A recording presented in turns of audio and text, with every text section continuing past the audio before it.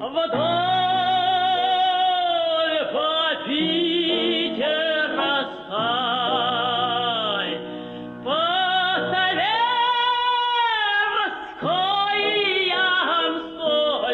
таком стремительном взлете можно только мечтать. Учиться на артистку в Москву 18-летняя Катя приехала из маленькой алтайской деревни. И почти сразу девочка с редким голосом в три с половиной октавы покорила самый престижный культурный вуз страны.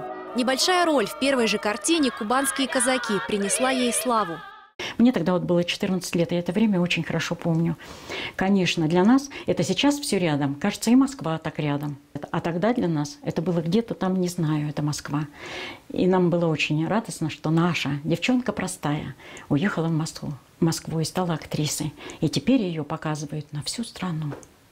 В день рождения Савиновой в Ельцовку съехались вокальные и танцевальные коллективы со всех уголков Алтайского края. Все участники от мала до велика почитают творчество Екатерины Федоровны и мечтают быть похожими на легенду советского кино. Она жила тоже в Ельцовке, э, стремилась стать актрисой. Я так, такая же вырасту, буду такой же.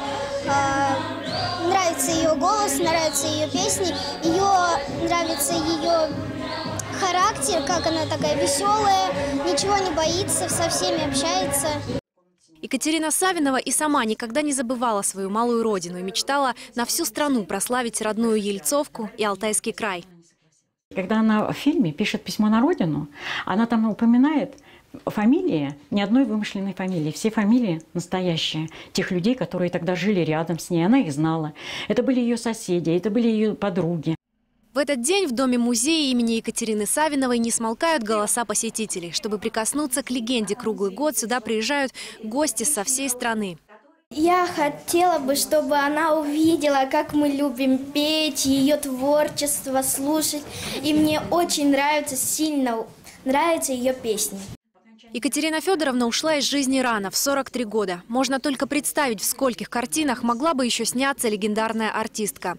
Она успела раскрыть свой талант лишь отчасти, но так, что забыть Савинову невозможно. Алена Февраль, Александр Антропов. Наши новости.